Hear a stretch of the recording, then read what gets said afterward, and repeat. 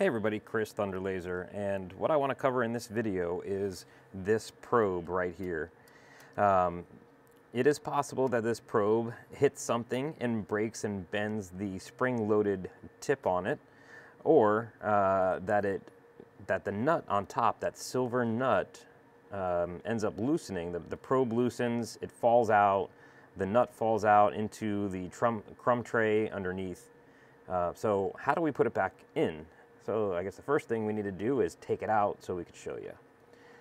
So let me unscrew this so that you can see. And literally, it just screws into this silver part that moves up and down there. Um, the silver part is our trigger mechanism for the sensor and also the nut for this probe. Now, once we have this unscrewed, typically if the head is moving, that silver part is going to fall out and this is going to end up on your bed and you're going to be like, what the heck happened? Um, but let's knock that out.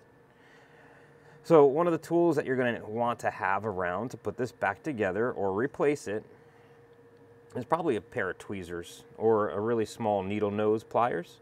Um, this is threaded to make it super easy. So here you have that. And again, it's threaded. Uh, just don't cross thread it. So gently thread it back in and you can see exactly how that works.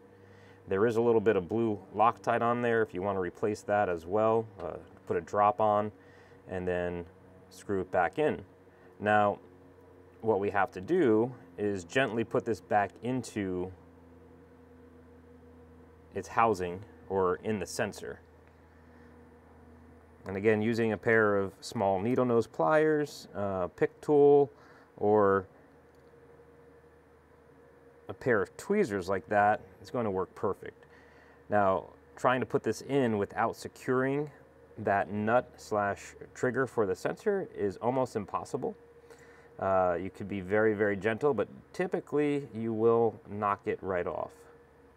So it's advised that we, we kind of try to to hold it in there like so and then start to screw the probe in. Once the probe is threaded just enough, that's all you'll need to do. We can tighten this back up.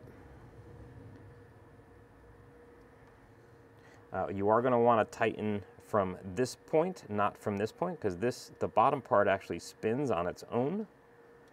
So using the top part like I said, this part will spin and turn uh, without that top part. So we want to tighten that top, top part down a little bit. Double check, make sure that the probe is moving and triggering. We can see the, the LED light. Uh, let me shut off my light here. We can see the LED light in there get triggered.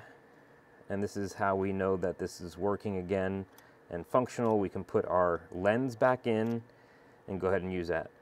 But again, uh, silver nut slash uh, sensor trigger is attached to the probe and we just have to make sure that we use some tweezers or something to get that uh, that little nut back in there and secure it so that we can thread this back together. And that's it. That's how we put the the probe in if we have to replace it or if we've broken it or if it's fallen off.